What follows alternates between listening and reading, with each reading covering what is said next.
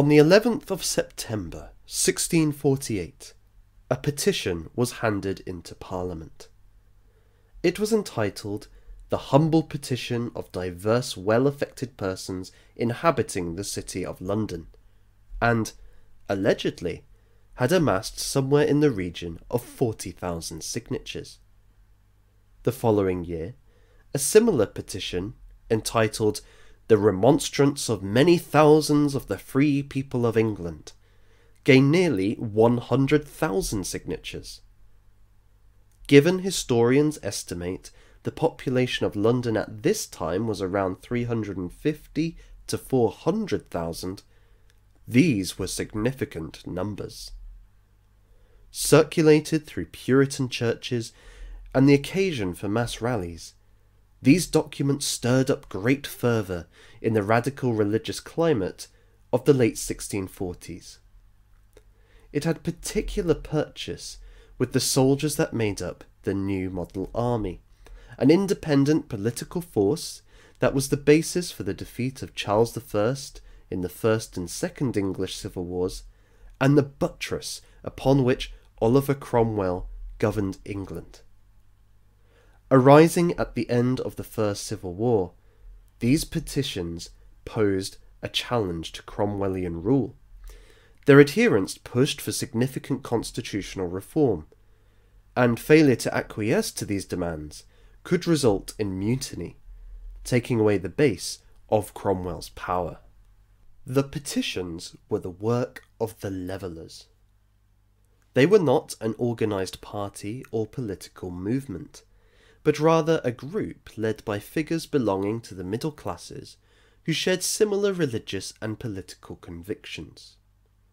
Their thought leaders were the army chaplain John Lilburne, academic Richard Overton, and the silk merchant William Walwyn, whose ideas were disseminated through talks and pamphlets. At the core of their theology was the conviction that, in the words of Richard Overton, by natural birth, all men are equally and alike born to the like propriety, liberty, and freedom. And as we are delivered of God by the hand of nature into this world, every one with a natural, innate freedom and propriety, as it were writ in the table of every man's heart, never to be obliterated. Even so are we to live, every one equally and are like to enjoy his birthright and privilege, even all whereof God by nature hath made him free. Lilburne likewise argued that every particular and individual man and woman that ever breathed in the world since Adam and Eve are and were by nature all equal and alike in power, dignity, authority, and majesty, none of them having, by nature, any authority, dominion, or magisterial power one over another. According to the Levellers, all people are created equal by God. They share the same birthrights as everyone else, and so no person is superior or inferior. All are intrinsically equal as a matter of nature. This was an extremely radical doctrine for early modern England. The hierarchical structure of English society was justified according to an idea developed in medieval Catholicism the great chain or ladder of being. This idea was that the world consists of things which are ontologically divided into higher and lower tiers, moving from pure spirits at the top to matter at the bottom. So at the pinnacle of the chain sits God, perfect being itself beyond time, space, and matter. Then, in descending order, there are angels, immaterial beings. Then humanity, which is a conjunction of an immaterial soul and a corporeal body. Then there are animals who have bodies capable of consciousness or sensory experience and motion. Below them are plants which are able to receive nutrition and grow, and finally minerals, which lack the pillars of life. Within these categories are also gradations of higher and lower beings. Seraphim, for example, were higher than cherubim. This also applied to human beings. The words of the Victorian hymn, All Things Bright and Beautiful, articulate this idea.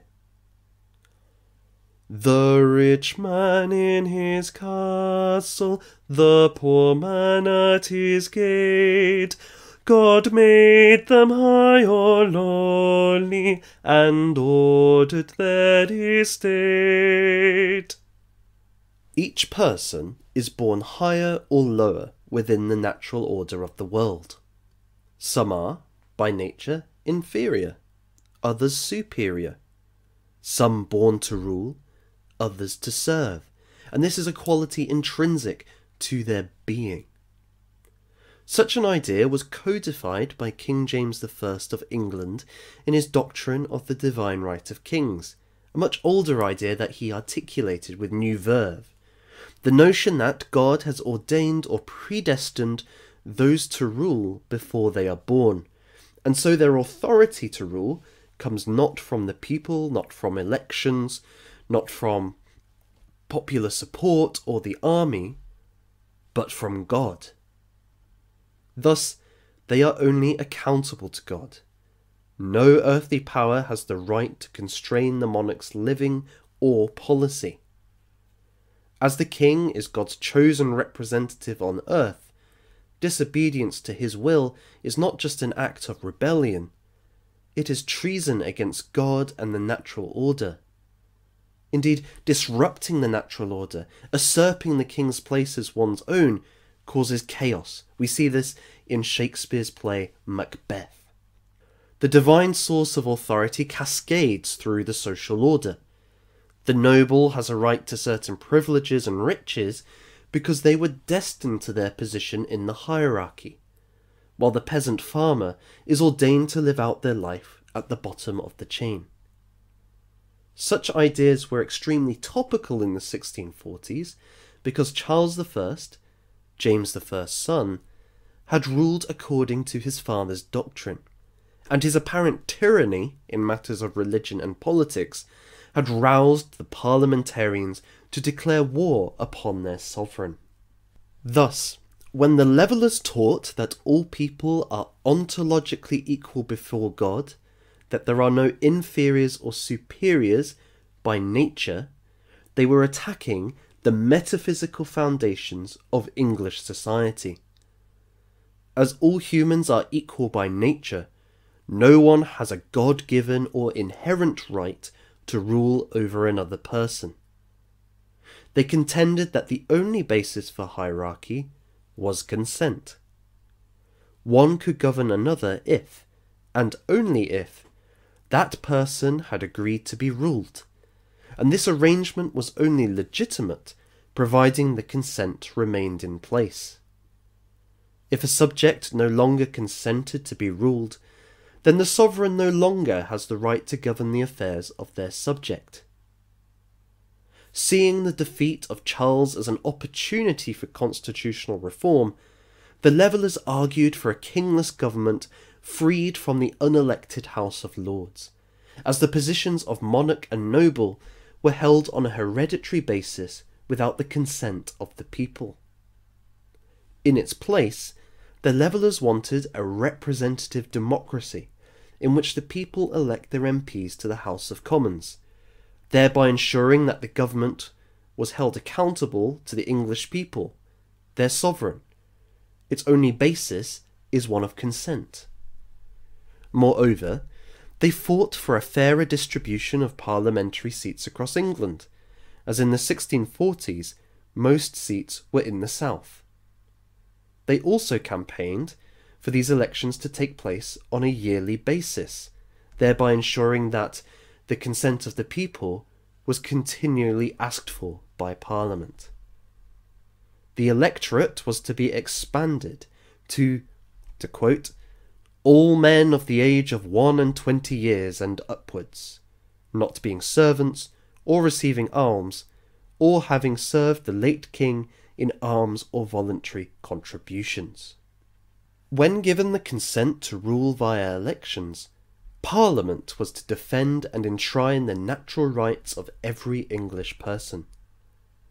First and foremost, they argued that all people should be treated equally and impartially under the law, levelling the law, you might say. Lilburne had argued that the free and fair society enjoyed by the Anglo Saxons had been crushed by the Norman conquest of 1066. The French colonists constructed an unequal society by reserving certain exemptions and privileges for themselves via the legal system.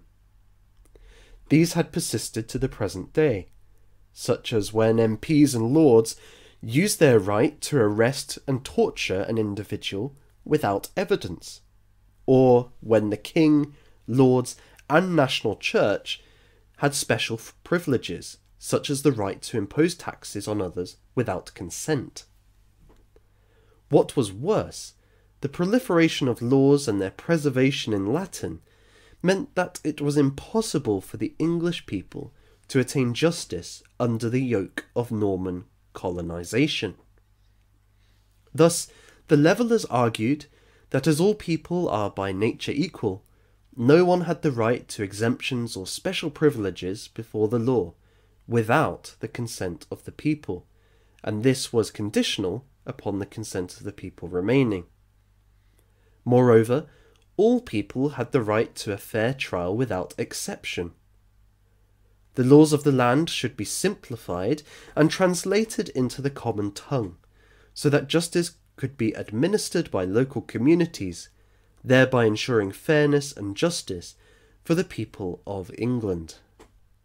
Just as the legal system had been used by the Normans to suppress the natural rights of the English people, so too had they used the Church. Although the Protestant Reformation had gone some way at repealing the power structures of the religious establishment, clerics still continued to overcomplicate theology, in so doing maintaining ownership over matters of religion and using this to persecute anybody who disagreed with them. As God alone is the master over the spiritual, the Levellers campaigned for freedom of expression and religious toleration.